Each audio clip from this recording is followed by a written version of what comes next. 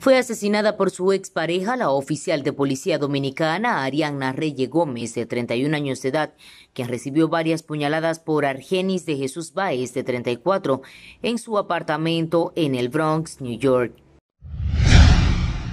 El presidente de la Central Nacional de Trabajadores del Transporte, Juan Marte, expresó que en su encuentro con el presidente de la República Dominicana, Luis Abinader, el pasado lunes, le reiteró su interés en que el Estado presente alternativas para los choferes del transporte público ante el desarrollo del transporte en la ciudad de Santiago.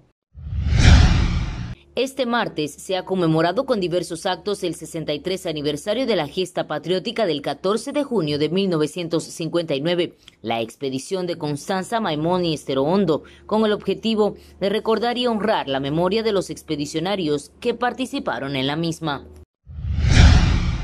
El líder transportista y presidente del movimiento rebelde Juan Uvieres denunció que el senador por la provincia Santiago Rodríguez Antonio Marte está planificando su muerte. A través de su cuenta de la red social Twitter, el exdiputado reveló que recibió informaciones sobre los planes en su contra que supuestamente están siendo organizados por el senador y empresario del transporte Antonio Marte y sus aliados.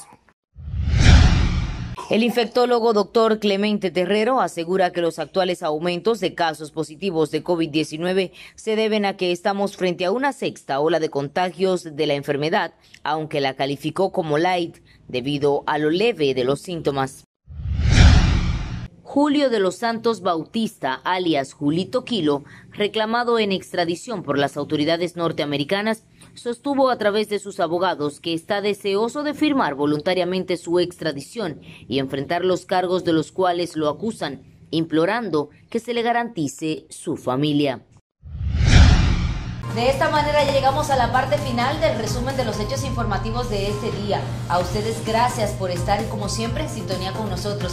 Invitarlos a que nos den seguimiento a través de nuestras diferentes redes sociales. Nos encuentre en YouTube, en Facebook, en Instagram. Así también puede usted mantenerse informado y actualizado a través de nuestro portal noticiasentreamigos.com.do para que la información le sea ofrecida a su gusto las 24 horas del día. Seguimos con el contenido de Entre Amigos TV y la conducción de Alberto José.